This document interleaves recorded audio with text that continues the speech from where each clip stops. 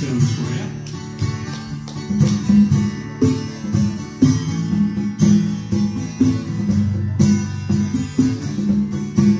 Well, I sit there in your silver chair, talking to some rich folks that you